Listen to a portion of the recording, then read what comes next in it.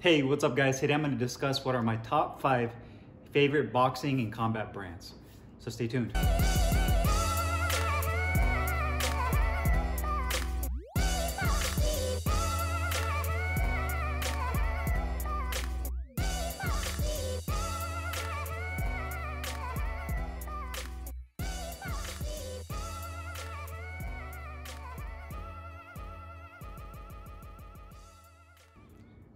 Hey, what's up guys? Carlo here, and today I'm gonna give you guys my top five favorite boxing and combat brands as of 2021. Now, obviously over the years, I've done a ton of reviews on different products ranging from boxing gloves, which is probably the most popular, to boxing headgear, to footwear, to different boxing equipment, heavy bags, double end bags, speed bags, Cobra bags, grocery bags, you name it, I've done, I've done a review on it most likely. But what I haven't really discussed uh, is what is my favorite brands or what are my favorite brands uh, when it comes to boxing equipment. And, and not to get mistaken with, uh, you know, I think a lot of times people look at some of the higher end gear. You know, obviously we talked about this before, but like winning boxing gloves. And while winning is great when it comes to boxing gloves, headgear, uh, and their no foul protector, they make awesome products. They don't really have a large catalog beyond that. It's typically that's what they're known for. Um, and that's even said for brands like Grant as well, even Reyes, uh, where they do really great things for what they have, but they don't necessarily have the biggest range of equipment outside of boxing glove headgear and groin protectors. So this list I'm about to give you is a list that I, I kind of thought about and I put some thought process into just dealing with the companies, knowing what kind of products they have and what they have to offer, as well as what they've done in, the, in as far as innovation, what they've come out with. So without further ado, here's my list of my top five.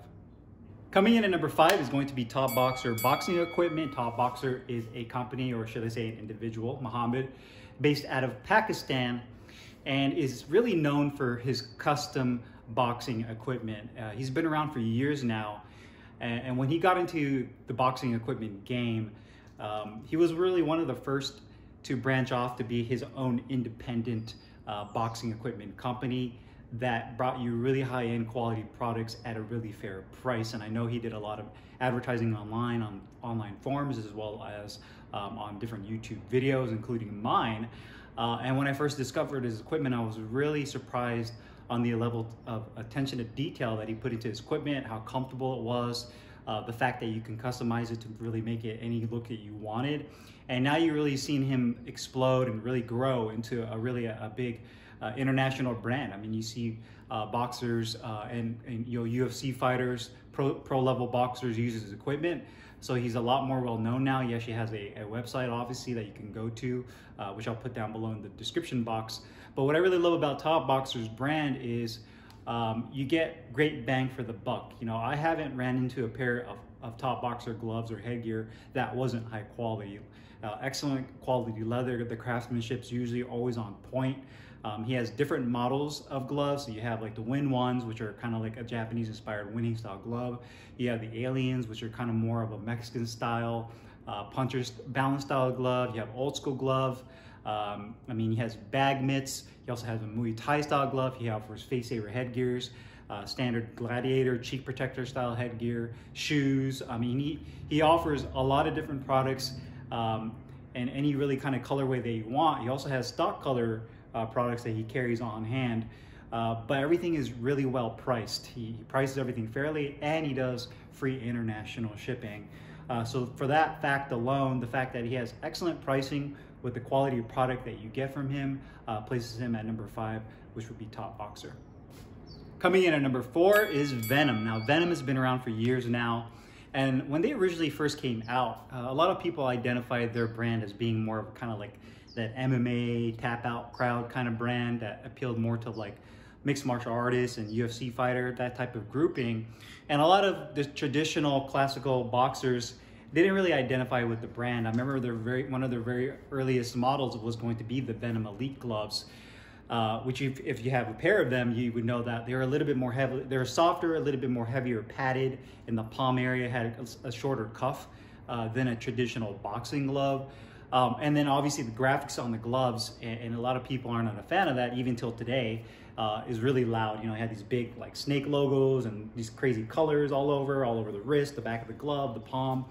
So that didn't really appeal to a lot of people uh, when they first started off. And then throughout the years, you started to see Venum really um, start to adjust their catalog uh, of, of boxing equipment to really cater more to the people that were into um, uh, classical traditional boxing. So as the years went on, they added more models to their glove line. And what, what really made them jump up, really, in my opinion, to the next level was when they came out with their pro boxing line a couple years ago. They had the Venum Hammer, the Shield, and the Giant 2.0. So to me, when they did that, you know, a lot of people were really surprised by that um, in the fact that now they were making gloves specifically just for boxing.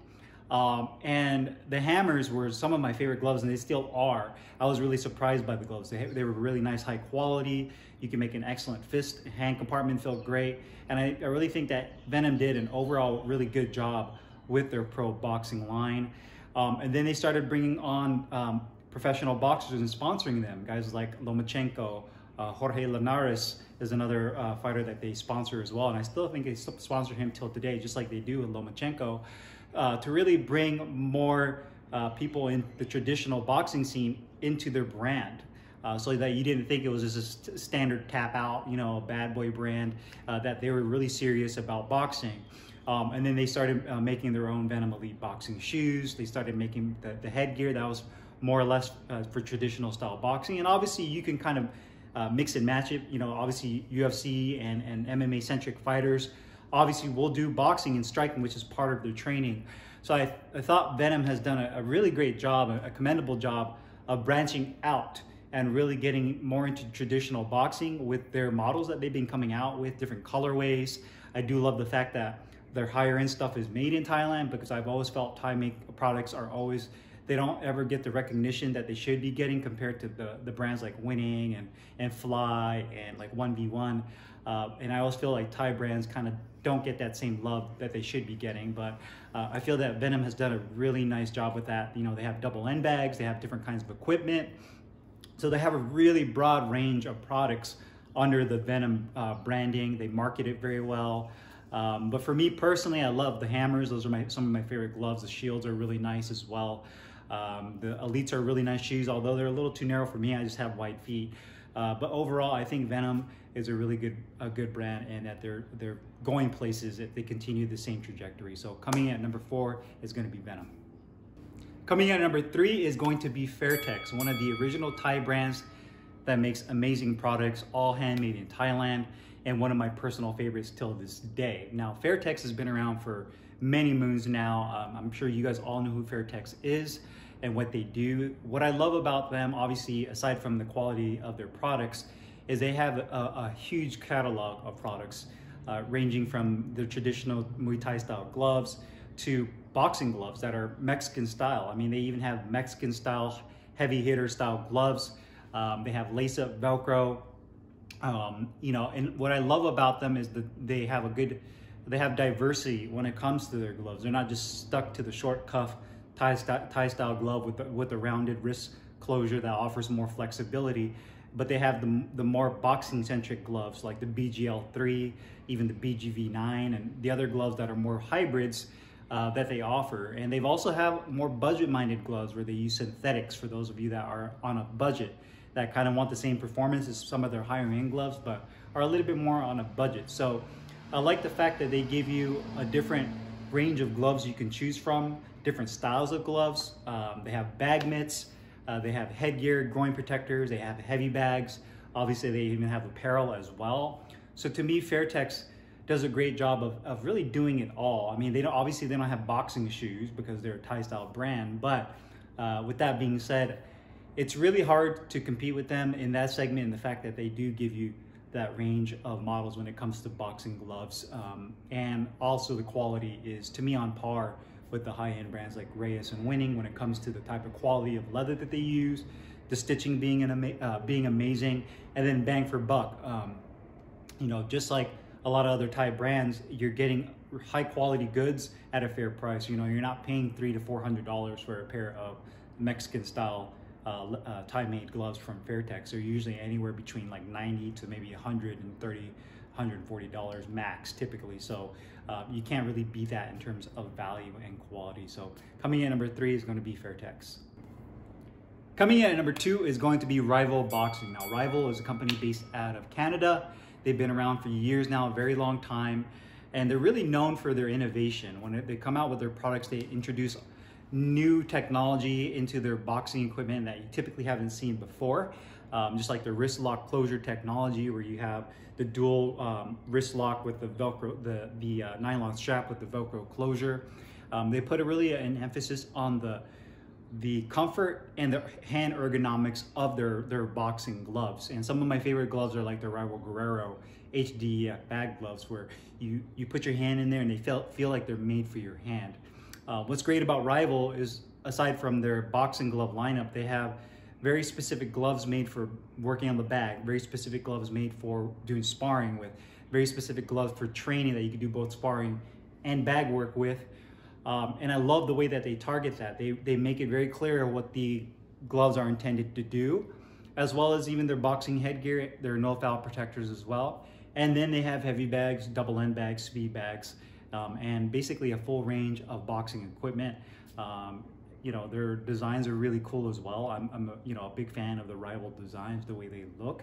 Um, they have their own shoes. Um, so they definitely have a full catalog of, of boxing equipment. My only, the only drawback I would say with Rival currently is I, I've seen a kind of a slip in the quality of some of the products I've seen and I personally own, just in terms of the quality control.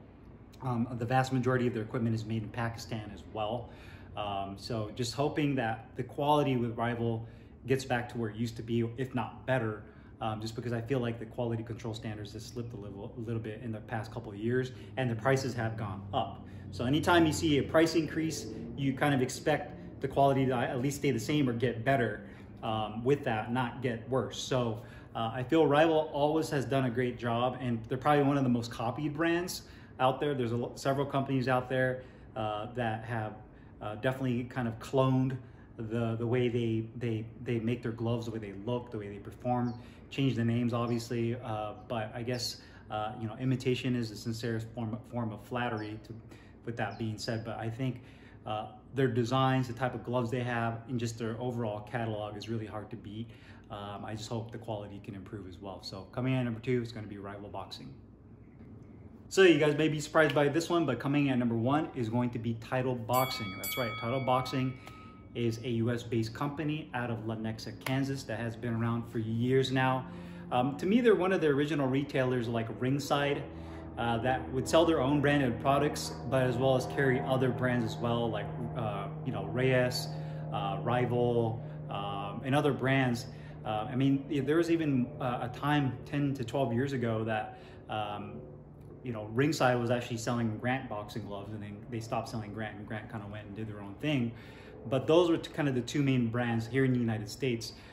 And to me, Ringside has kind of gone stagnant. They never really kind of took the next step in terms of making new innovative products and kind of just continue to kind of stay on the same path where I feel a title has really exploded in the recent years. You know, the past five to six years, you've seen so much growth with title boxing in terms of making new innovative products, whether it's memory foam gloves, gel padded gloves, air pocket technology gloves, um, and they make usually two to three versions of that glove. They'll make a bag version, a training version, and a sparring version. So I feel that title gives you an, an excellent level uh, or excellent variety when it comes to their equipment. It's probably unsurpassed in my opinion. Um, they have heavy bags. I mean, they, they have literally everything you could think of when it comes to boxing equipment. Shoes, different models of shoes, different heavy bags, different double end bags, different speed bags, heavy bag mounts, hardware, um, uh, obviously conditioning, calisthenic type products, you know, shadow boxing uh, equipment and everything that they carry is relatively uh, at, at, a good price. Everything's pretty affordable. Um, you know, they, they offer discounts. So I don't feel that they're greedy in, in that regards where, you know, you find some companies where their, their products are super expensive and they don't, they don't even bother to try to discount or, or do any kind of, uh, you know, customer appreciation. It's just, the prices is what it is and that's what you got to pay. And I love the fact that Title does um, give you, you know, discounts when it comes to the holidays and just their vast catalog of products. And I feel like they put a lot of thought process into some of their products. Some of them are kind of flops. You'll see some of like, I think they came out with like some title hexacone gloves years ago, and I, those are pretty pretty bad.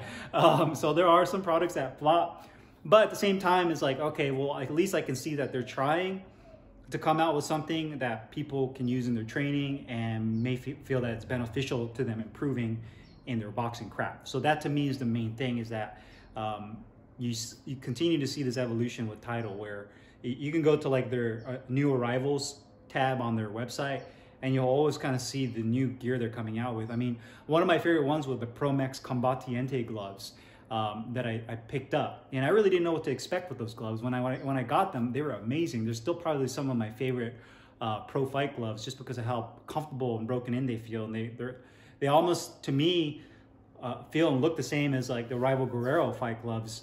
Um, for like half the price. So a lot of times you can find some hidden diamonds or hidden, hidden gems in the title catalog uh, if you're willing to, to you know, um, take the risk and, and, buy the gloves, and you usually get pleasantly surprised. Uh, even the Title Gel World V2T bag gloves, which are their gel gloves, are amazing gloves, especially for those of you that have hand injuries.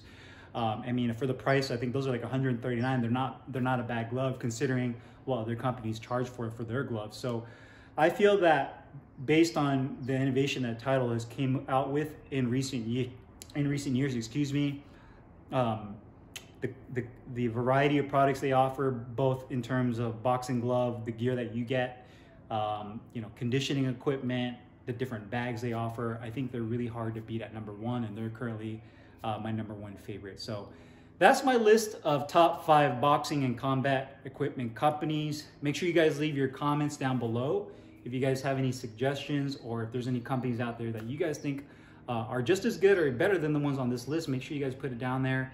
Um, I'm always up for discussion about this, and I'll see you guys later. Peace.